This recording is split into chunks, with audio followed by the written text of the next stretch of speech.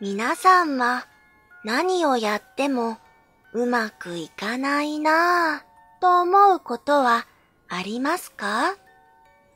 私もそんなことはよくあります。今橋の上を歩いているこの男。何をやっても失敗ばかりするんです。だから奥さんにちゃんとお金を稼いでこい。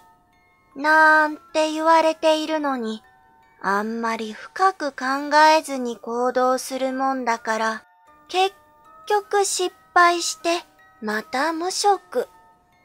お金もないから、ええい、もう死んでしまえ。と、夜も夜更けに橋の上まで来たんです。ああ、死のうと決めてきたけど、死ぬ時まで苦しい思いをするのは嫌だな。そんなことを言っていると、向こうから一人、よぼよぼのおじいさんが歩いてきました。そんなに死にたいなら、背中をぽっとしてあげようか？なんだいきなり。結構だ。それよりじいさん、お前誰なんだ？わし？わしは、死神じゃ。死神だ？縁起でもない。どっかに行ってくれ。変なことを言うやつだ。わしを呼んだのは他でもないお前じゃないか。でもまあいい。確かにお前はまだまだ生きる。よし。これも何かの縁だ。お前にいいことを教えてやろう。いいこと？そうだ。金儲けの話だ。いいか？お前は今日から医者になれ。医者だって俺には金も学もねえんだ。なれるわけがねえ。まあまあ、話は最後まで聞け。病気の人間のところには必ず死神がいる。大事なのはその死神が一体どこに座っているかだ。どこに座っているか？そうだ。死神が足元に座っていれば、そいつは助かる。お前が助けてやればいい。でも、もし死神が枕元に座っていたら、その病人はもうすぐ死ぬ。寿命だから諦めろと家族を説得するんだな。わかった。で、俺はどうすればその病人を助けることができるんだ？呪文を唱えるんだ。呪文？あじゃらかもくれんわさびさわのってけれっつの。あ、あじゃらかもくれんのぱ違う違う違う違う。あじゃらかもくれんわさびさわのてけれっつのぱ。あ、あじゃらかもくれんわさびさわのてけれっつのぱ。あーまあ、だいたいそんなもんだ。それを唱えると、病人の足元に座っている死神も、病気も消えて、嘘みたいに元気元気。お前は人助けをすることができるだろう。ま、うまくやるんだな。そう言うと、死神は、ふっと、煙のように消えてしまいました。はあ、今のは夢か？幻か？しかし面白いことを聞いた。死ぬのはこれを試してからでも遅くない。そう言うと、男は次の日から本当に医者になったのです。西に重病の患者がいれば、って医者の真似をし、死神が枕元に座っていたら、お気の毒ですが、と言い、東に重病の患者がいれば、行って医者の真似をし、死神が足元に座っていたら、あじゃらかもくれんわさびさわーのてけれっつのおっぱ、と言って、死神を追い払って、たくさんのお金を稼ぎました。ある時、町一番の金持ちが倒れたから、今すぐ見てほしい、と知らせを受けた男は、走って金持ちの家へ行きました。家の中の一番大きな部屋の真ん中で金持ちの旦那は寝ていました。金持ちの旦那は布団の中で青い顔をして、うーん、うーんと苦しそうな声を上げるばかり。あのー、先生、主人の具合はどうでしょうか？男はいつものように医者の真似をしながらあたりをキョロキョロ見渡しました。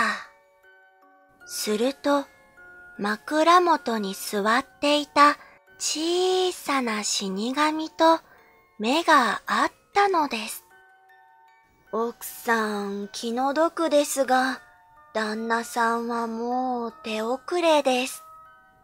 というと奥さんは、一年、いや、一ヶ月でもいいんです。少しでも長く生きてくれるのならば、お金はいくらでも出します。一千万、一千万でどうにかなりませんか先生、お願いします。と、信じられないような話をされた男は、そのお金が欲しい、思ってしまったんです。わ、わかりました。では、私が、せーの、と言ったら、皆さんで布団を持ち上げてください。そして、頭の位置と足の位置を反対にするんです。頭の位置と足の位置を？そうです。反対の方向に寝かせると、きっと病気は良くなるでしょう。旦那の家族は、そんなことで治るなら、と、みんなで布団を持ち上げて、せーので向きを変えました。男はすかさず、あじゃらかもくれんわさびさわーのテケレッツのパーと呪文を唱えました。すると、はぁ、体が軽い。頭もお腹も、なんも痛くないぞ。こりゃお医者様のおかげだ。金持ちの旦那は、嘘みたいに元気になったじゃありませんか。一か八かの賭けに成功した男は、一千万円という大金を持って屋敷を後にしました。日はすっかり暮れて、男が持った提灯の明かりだけが揺れていました。すると突然、耳元で声がしたんです。おいお前、どうしてあんなことをした？男がびっくりして振り向くと、あの時、橋の上で出会ったよぼよぼの死神が立っていました。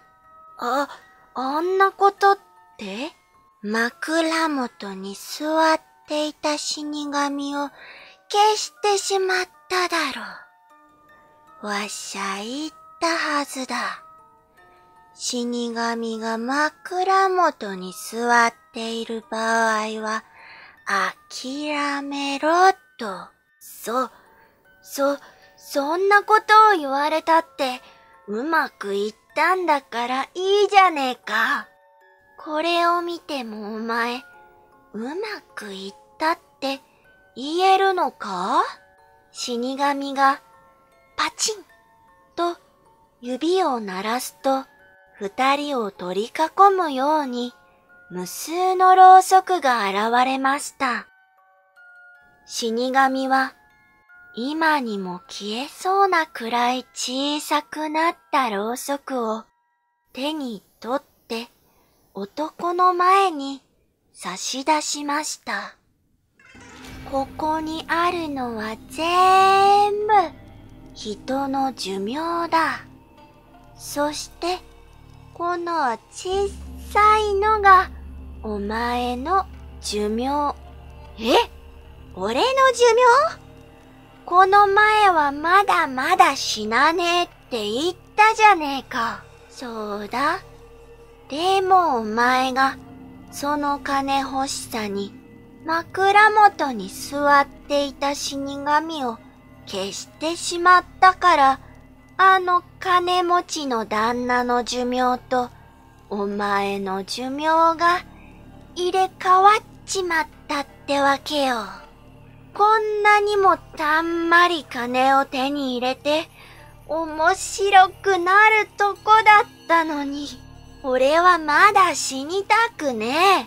じゃあ今使ってるその提灯のろうそくにこのちっさいろうそくの火を移すんだ。そうすっとまだそのろうそくの分だけ長生きできるこの提灯のろうそくにそうだ男はごっくりと息を飲みました。提灯の中からろうそくを取り出して反対の手で死神から短い短いろうそくを受け取ろうとしますが、それは指でつまむにはあまりにも短くて熱い。でもそうこうしている間に、ろうそくはどんどん小さくなっていきます。男は意を決してそれをつかみました。そしてもう一本の長いろうそくに火を近づけますが、二つの炎はゆらゆらゆらゆら小刻みに揺れるばかりで少しも近づきません。おいおい、何をやってるんだ？早くしねえと消えるぞ。火が消えちまうぞ。わ、わかってら。でも失敗すると死んじまうと思うと手が、手が震えて。早くしないと消えてしまうぞ。消えたら死んでしまうぞ。そうだ。今度こそ助からねえぞ。うるさいうるさい。お前が喋ると火が、火が、消えた。